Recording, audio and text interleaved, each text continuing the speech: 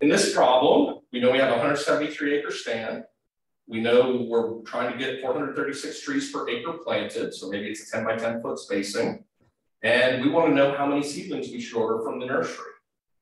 And so uh, when we look at this problem, pretty straightforward, four hundred thirty-six trees.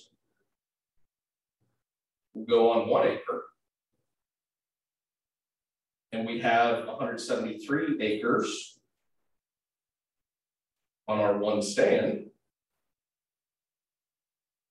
I cancel out units there. And that means that I am gonna need to order seventy-five thousand four hundred twenty-eight trees.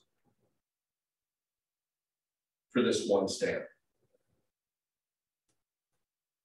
So at this point, you might think you're done, but there are two more steps that we need to take um, in order to implement this in the real world. The first is our cull percentage. Remember in silviculture this semester, we're gonna use ten percent.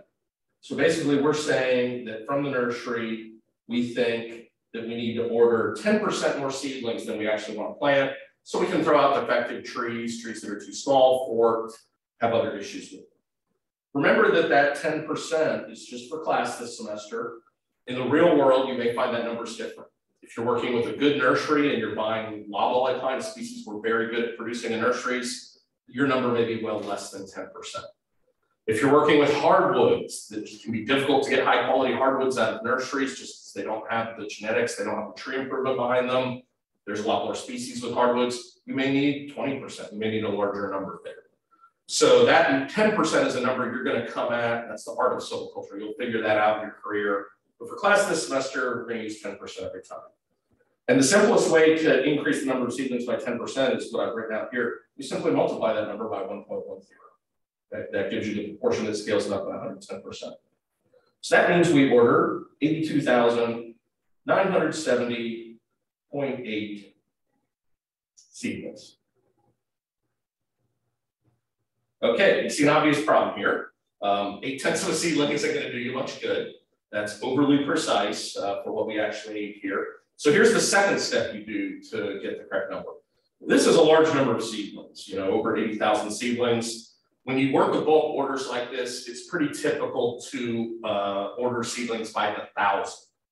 And so our final step to get the correct answer, we will always round up. Even if this was 82,001, we would go ahead and round up just to, you know, build a few more cull seedlings in there.